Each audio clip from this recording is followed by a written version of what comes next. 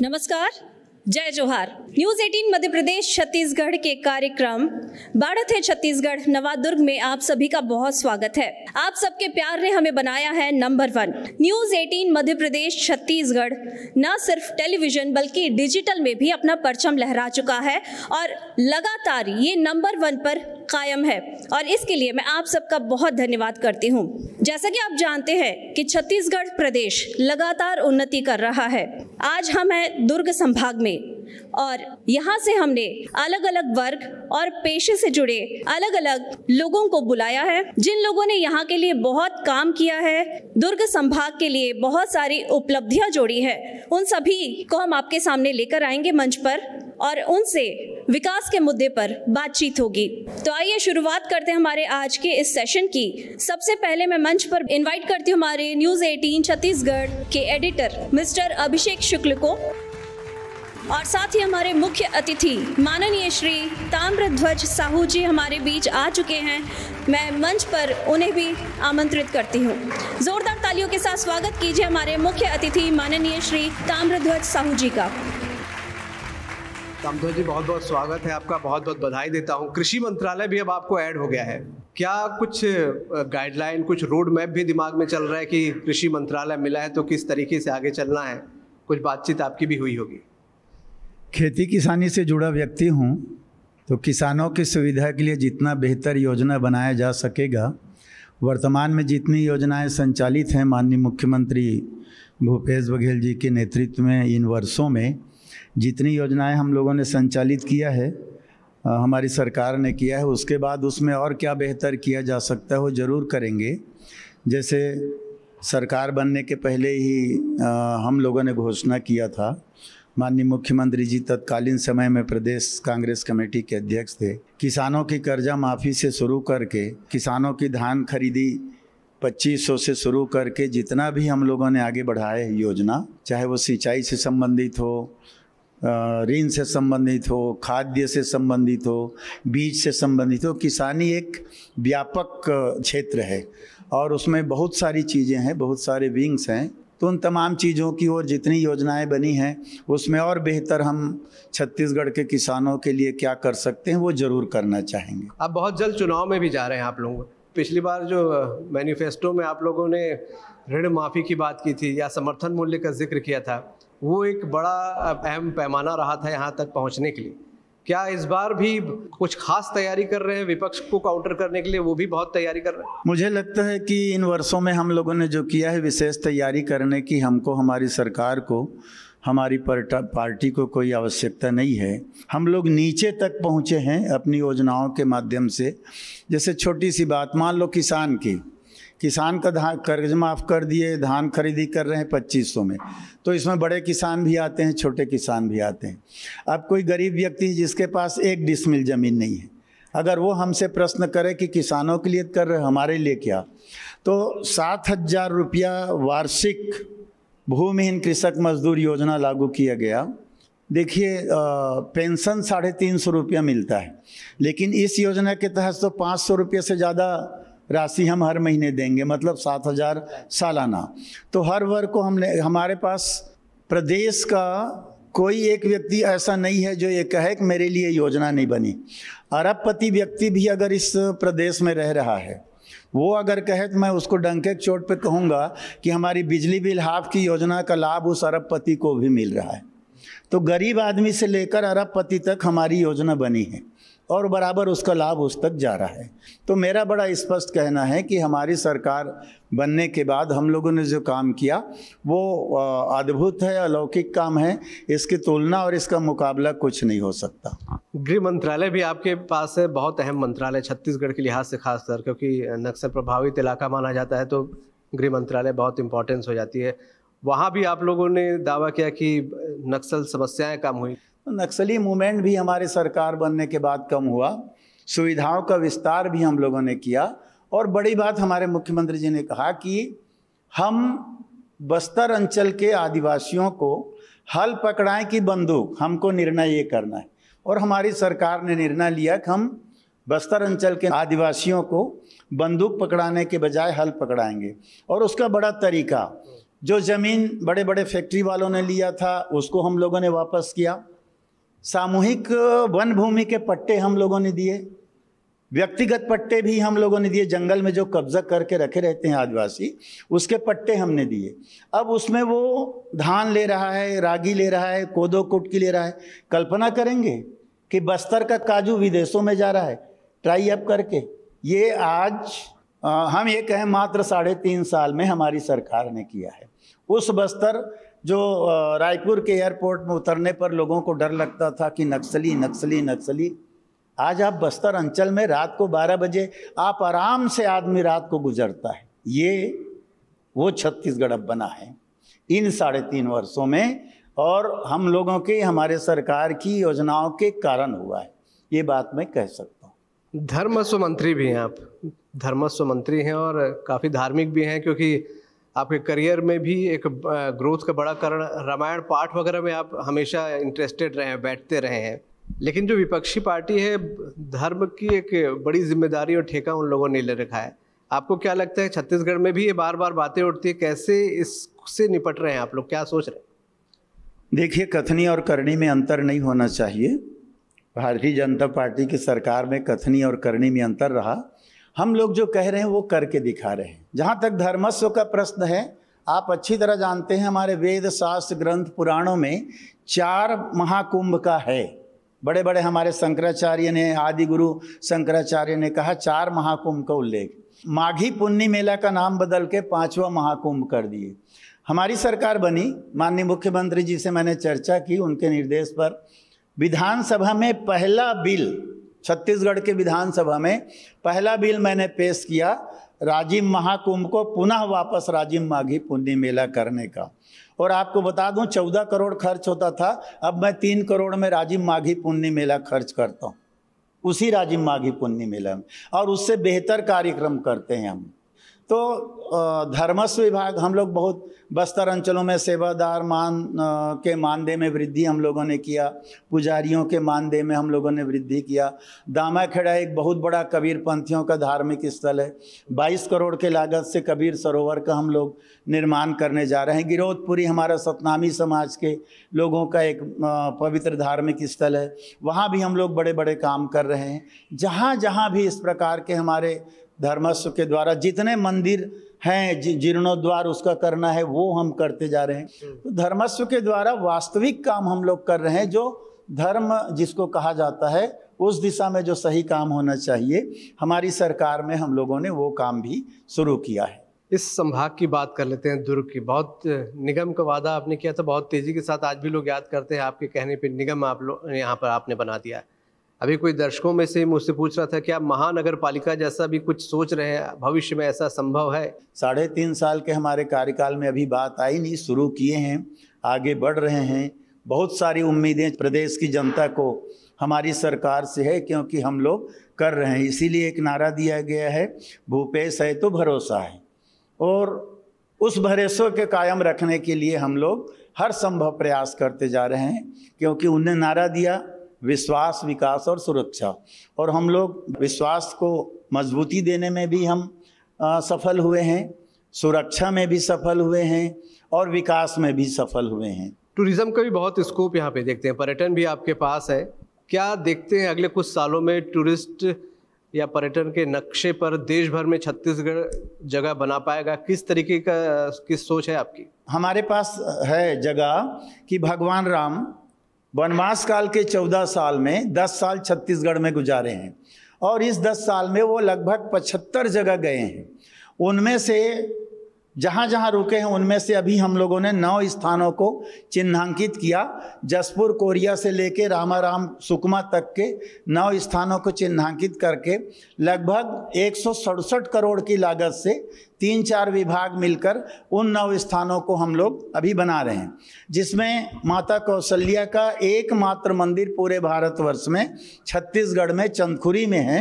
उसका 48 करोड़ की लागत से हम लोगों ने विकास किया है। विकास अंतिम चरण में है, बहुत बढ़िया बना है। दस साल वनवास काल का भगवान राम ने यहाँ व्यतीत किया है और वो सारी उनमें से नौ जगहों को राम वन गमन पथ के रूप में हम लोग विकसित कर रहे हैं। राजिम को, शिवरी नारायण को, अभी चंपारण को भी हम लोगों ने दसवां स्थल ले लिया।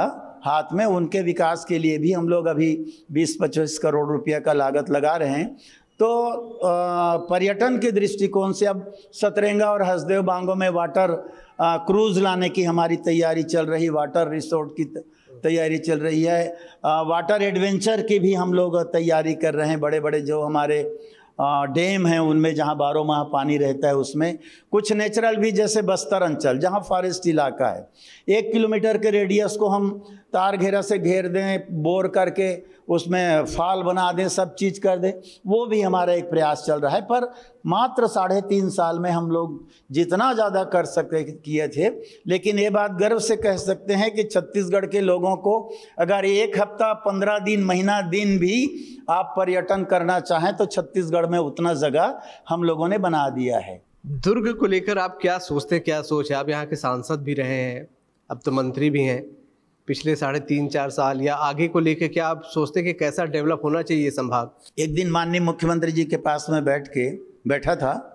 मैंने उनसे कहा कि आप भी दुर्ग से हो, मैं भी दुर्ग से हूँ, आपकी राजनीति भी दुर्ग से शुरू हुई, मेरी भी राजनीति दुर्ग से हुई, मेरी भी शिक्षा दुर्ग से तो हम लोगों को कुछ करना चाहिए। उनने कहा कि आप जो सोच में हैं, आपके आप प्रपोज़ल बना लो और तैयार करो। तो दो तीन प्रपोज़ल मैंने बनाए। एक तो आपके गुरुद्वारा से लेके नेहरू नगर के आगे जो गुरुद्वारा है, वहाँ से बटालियन से लेके, वाई से, ब्रिज से लेके और मालवी चौक से लेके, पटेल चौक से लेके, मिनी माता चौक तक जाने के लिए फोर लेन सड़क की एक स्कीम मैंने बनाया। फिर मालवी चौक से जेल के पास तक के चौक के लिए एक स्कीम बनाया। जेल तिराहा से लेके मिनी माता तक महाराजा चौक के लिए एक स्कीम बनाया। कुछ आंतरिक सड़कों के लिए भी बनाया। उसमें एक हम लोगों ने शुरू किया बड़ी चीज़ को, और अभी बन रहा है। दुर्ग के लिए तो बहुत सारी चीज़ें बनी हैं। यूनिवर्सिटी दुर्ग ज़िला में आया। यहाँ अच्छे अच्छे स्कूल और कॉलेजों की शुरुआत हुई। अब स्वास्थ्य के क्षेत्र में medical college, Chandulal Chandrakar medical college को हम लोगों ने अपने हाथ में लिया, शासकीकरण किया।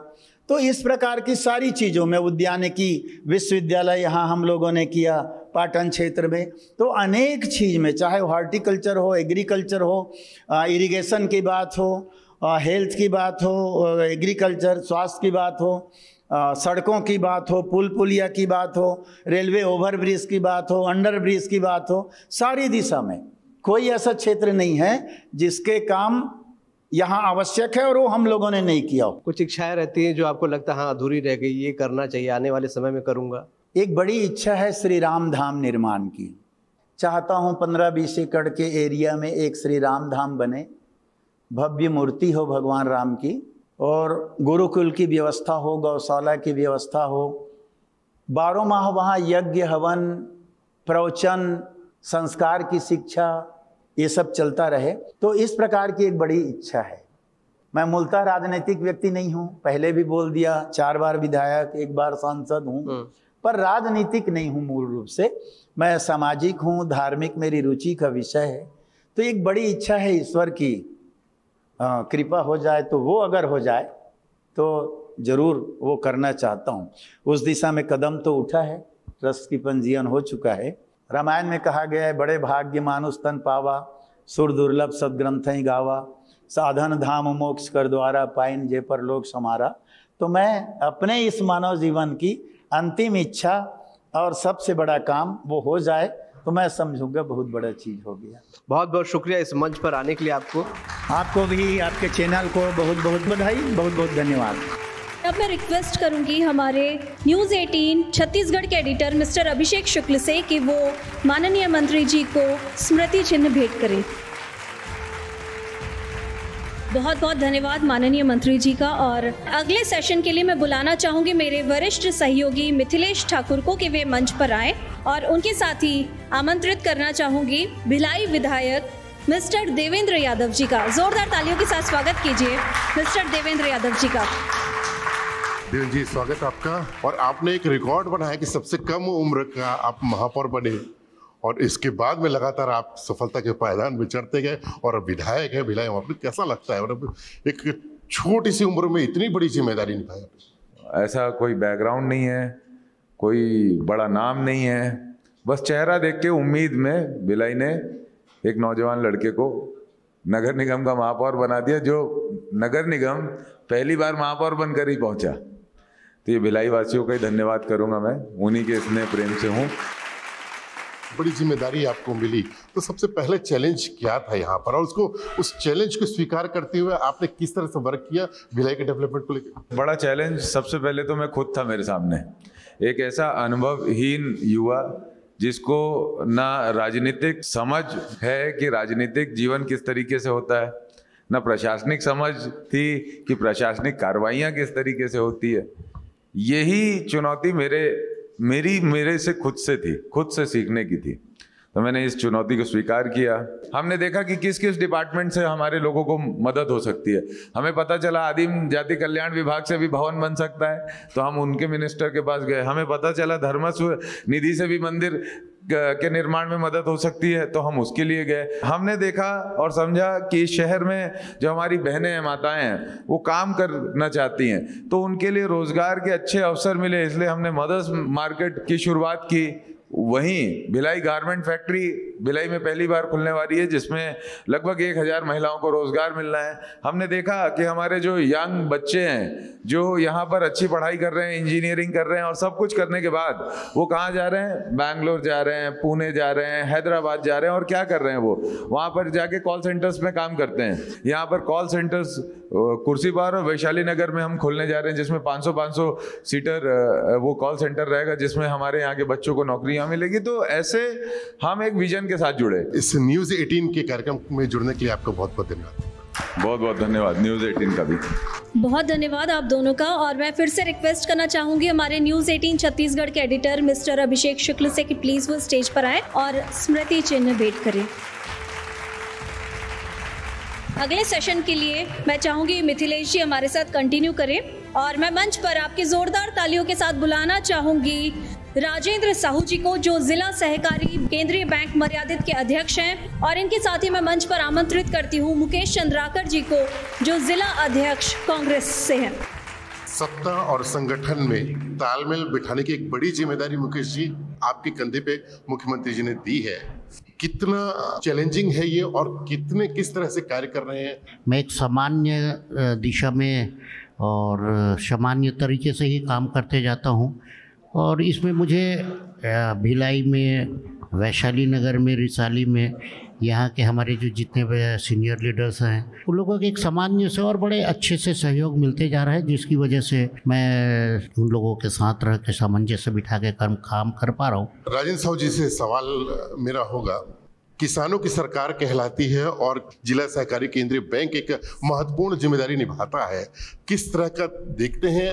आज किस तरह के बदलाव आप इसमें नज़र आते हैं अभी? जब से माननीय भूपेश बघेल जी मुख्यमंत्री बने हैं, कृषि के साथ साथ सहकारिता को भी बढ़ावा दिया जा रहा है और दोनों को जोड़ने का काम किया जा रहा है। आज हमारी जो योजना है, नरवा गरवा घुरवा बारी है। चाहे नरवा के माध्यम से हम जल संवर्धन की बात करें। पूरे प्रदेश में लगभग बीस हज़ार से अधिक गाँव हैं और बत्तीस हज़ार से ज़्यादा हमारे नरवा हैं। उसमें साढ़े तेरह हज़ार नरवा को ट्रीटमेंट का काम चल रहा है, उसको संबंधन करने का काम चल रहा है। दूसरा गरवा, गोबर खरीदी का काम, ये हमारी सरकार कर रही है। गोबर खरीदी पूरे हिंदुस्तान में पहला राज्य है, जहाँ दो रुपये किलो गोबर खरीदी हो रही है। और तीसरा वर्मी कंपोज हम वर्मी कंपोज बनाने का काम हमारी सरकार कर रही है, गौठान योजना आई। तो कहने का मतलब जितनी भी योजनाएँ हैं, वो खाली दिखाने के लिए नहीं है, किसानों को तो मज़बूत किए। आज किसानों के जेब में पैसा है, कर्ज से नहीं डूबे। पहले बैंक की मांग नहीं होती थी। आज जहाँ जाते हैं माननीय मुख्यमंत्री जी या दूसरे लोग वहाँ किसान बोलते कि हमको बैंक दिया जाए। छत्तीसगढ़ में साठ लगभग जिला सहकारी बैंक की मांग पूरे प्रदेश में हुई है। दुर्ग ज़िले में भी लगभग 10 से 12 बैंकों की डिमांड है। मुकेश जी एक, एक सवाल आपसे है कि अब फिर चुनावी मोड में हम लोग आ गए हैं। अब फिर चुनाव होंगे और उसके बाद में ज़िले की कमान आपके पे है। इस बार किस किस तरह का रहेगा टारगेट आपके? पास पूरी कमेटी जो है, पूरी कांग्रेस की टीम जो है निरंतर बूथ स्तर पे जाके, हर वार्ड में जाके निरंतर इस पे वर्क कर रहा है। तो चुनावी मोड वाली बात नहीं है। हम लोग शुरू से ग्राउंड में थे, आज भी हैं और चुनाव तक का, चुनाव के बाद भी ग्राउंड लेवल पे ही रहेंगे। चलिए, राजन जी, आपका और मुकेश जी, आपका बहुत बहुत धन्यवाद कि न्यूज़ 18 के इस कार्यक्रम में विपरीत परिस्थितियों के बीच भी आप यहाँ पर पहुँचे और इस कार्यक्रम की बढ़ाए मैं रिक्वेस्ट करती हूँ कि आप मंच पर ही बने रहें और साथ ही न्यूज़ 18 छत्तीसगढ़ के एडिटर मिस्टर अभिषेक शुक्ल से रिक्वेस्ट करती हूँ कि वे मंच पर आएँ और स्मृति चिन्ह भेंट करें।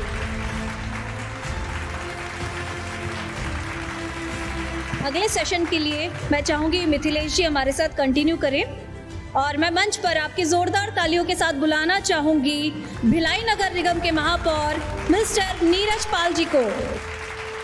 नीरज पाल जी का आप स्वागत है। आप लंबे समय से पार्षद रहे और अब एक महापौर की जिम्मेदारियाँ निभा रहे हैं। मेरे जो ऊपर के लोग हैं शायद वो मेरे काम को रेखांकित करते रहे होंगे।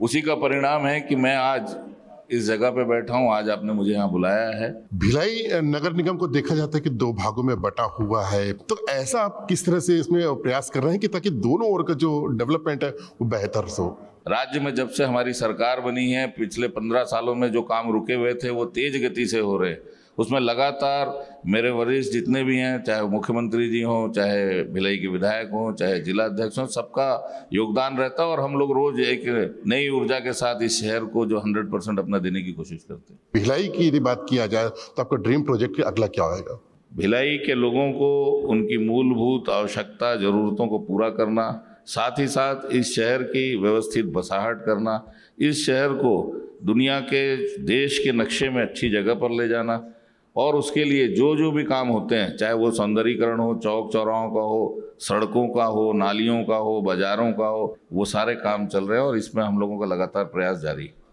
चलिए हमारी शुभकामनाएँ और आप न्यूज़ 18 के इस प्रोग्राम में शामिल हुए आपका बहुत बहुत शुक्रिया। थैंक यू बहुत बहुत धन्यवाद आप दोनों का। और अब मैं हमारे न्यूज़ 18 छत्तीसगढ़ के एडिटर मिस्टर अभिषेक शुक्ल से रिक्वेस्ट करूँगी प्लीज़ वे मंच पर आएँ और स्मृति चिन्ह भेंट करें हमारे अतिथि को। और हमारे सेशन को आगे बढ़ाते हुए मैं मंच पर आमंत्रित करना चाहूँगी रिसाली नगर निगम सभापति श्री केशव बंछोड़ जी का। इसके साथ ही मैं मंच पर आमंत्रित करती हूँ रिसाली नगर निगम की महापौर शशि सिन्हा जी का। शशि सिन्हा जी आपका स्वागत है। न्यूज़ 18 के खास प्रोग्राम में केशव जी सभापति हैं रिसाली नगर निगम के उनका भी बहुत बहुत स्वागत है।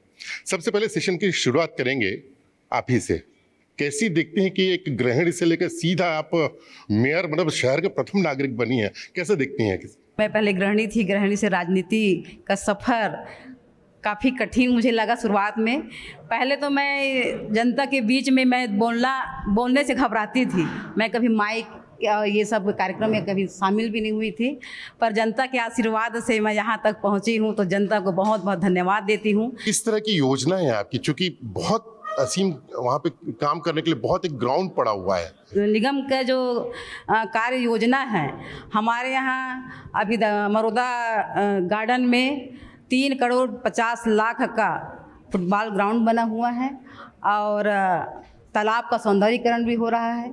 जनता सब जानती है कि इतना विकास कार्य हुआ है कि हमें जगह ढूंढना पड़ेगा पाँच साल में। जी। केशव जी जी भी हमारे साथ में मौजूद हैं सभापति हैं आप। देखिए, अल्पकाल हुआ है, बहुत समय नहीं हुआ रिसाली नगर निगम को बने हुए। फिर भी यदि बात करें, विकास की यदि बात करें तो किस तरह का डेवलपमेंट हुआ है? पहले, अभी और अभी में क्या अंतर दिखते हैं इसमें पहले स्वास्थ्य सुविधाओं के नाम से या तो रिसाली क्षेत्र के लोगों को दुर्ग जिला अस्पताल जाना पड़ता था या शास्त्रीय अस्पताल आना पड़ता था सुपीला। आज वहाँ तीस बिस्तर का अस्पताल रुआ बांधा में संचालित हो रहा है। वैसे ही शिक्षा के मामले में, उच्च शिक्षा के मामले में सरकारी कॉलेज, साइंस कॉलेज दुर्ग पढ़ता था या फिर उतई जाते थे रिसाली क्षेत्र के बच्चे, जिनको शासकीय महाविद्यालय में अध्ययन करना होता था। आज नवीन शासकीय महाविद्यालय मरोदा मैत्री बाग रोड में संचालित हो रहा है। चलिए आपका बहुत बहुत धन्यवाद, केशव जी, आपका भी और शशि मैडम आपका भी। बुलाना चाहती हूँ हमारे न्यूज़ 18 छत्तीसगढ़ के एडिटर मिस्टर अभिषेक शुक्ल को वे मंच पर आएँ और हमारे अतिथियों को मोमेंटो देकर सम्मानित करें।